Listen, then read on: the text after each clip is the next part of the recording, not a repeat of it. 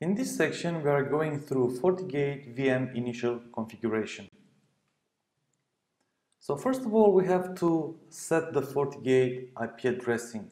If you want to use the firewall in, uh, in a lab environment, in production, in, in any situation, in the first place, in the unboxing stage, to say so, we have to uh, configure IP addressing on the box so that it becomes functional and reachable in the network. So this is our first step, setting the, the IP addressing on at least one port. Next, we are going to configure and allow access to FortiGate firewall. Now, as an engineer, you don't have to take information for granted. You have to ask questions and ask yourself questions if you're not in a uh, live environment with instructor or so. So why is this uh, also in, important to allow access to a FortiGate firewall? So as opposed to routers, most if not if not all of the of the firewalls come like blocked, so no information is uh, is permitted to the firewall. So as in this case, we have to permit to permit HTTP access to to the firewall. As in the next step, we will have uh, available as an option to connect to the FortiGate through the web-based manager. Now let's uh, take a look at how it looks in the in the web uh, the vSphere. So it's fine. The FortiGate uh, XAX course VM it's it's up. Going to the console, we see now the login. So by default, any FortiGate comes with the admin as a username and no password. So we just hit enter. And here you have the, the banner, the welcome and, the, uh, and exclamation mark as, as said, we have now to, to declare the IP addressing on port 1. First of all, we have to go to the config system menu. So config, system and interface. Now edit and we said port 1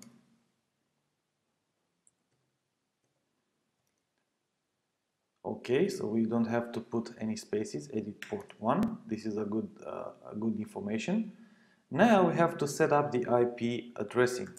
So set IP and in this case, in this case I will just uh, use an IP that's suitable for my lab environment.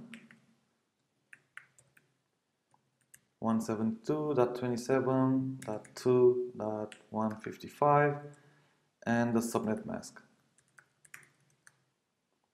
and that's it. As said, we have to allow access to, to the VM, to the firewall anyway. So let's do that. Set allow, and I just hit, I don't know if you have noticed, I said allow and hit the tab and it will do an autocomplete. Set allow access. Let's see what are the available uh, options. So as, as said, nothing is permitted. So if you have, uh, if you want to have like ICMP connectivity between uh, between this port and any other uh, network element in, in our in our area we will have to also allow ping access so ICMP so it's ping HTTPS why not SSH and HTTP also. Good now second, the VM has to have any IP connectivity. So to do so, it will need some route in its routing table. It will have to know who is the default gateway, where to send all the packets. In case no specific routes are present, we have to set up a default gateway so that the FortiGate will send all the traffic to that gateway. For this reason, I'll just hit end.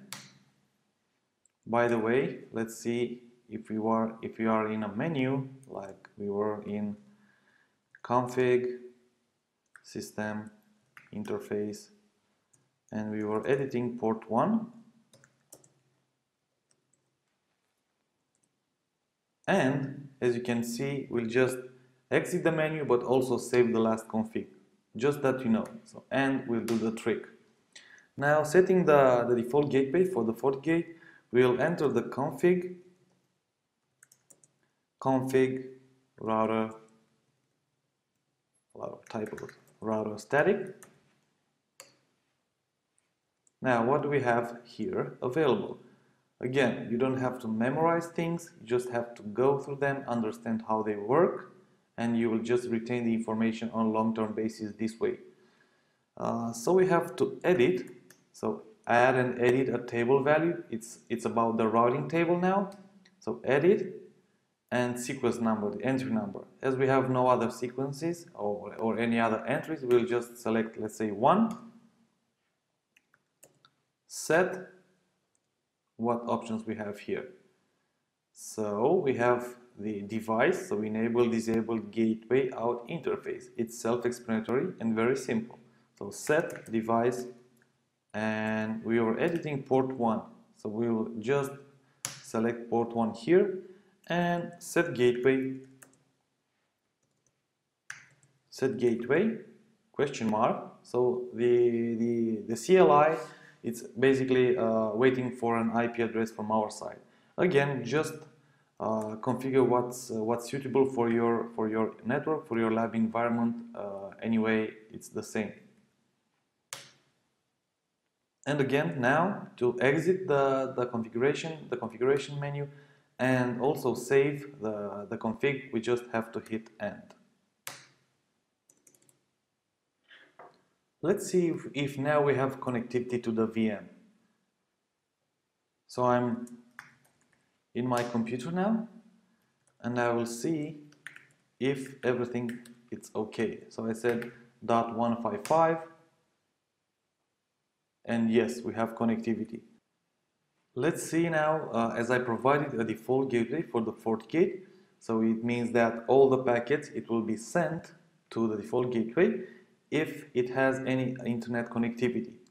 So for the FortiOS, we have execute and question mark. We have a lot of options here, but you can see we have also ping.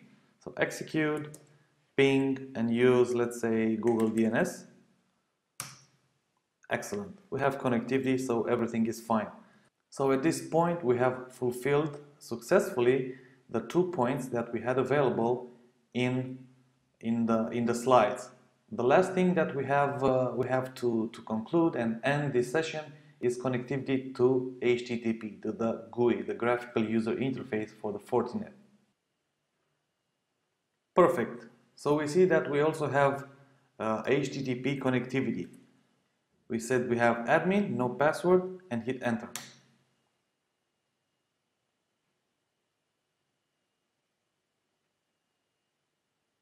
Yes, it looks like everything is fine. We have connected to the FortiGate VM64 image. And now we can just move to the next module. So see you in class.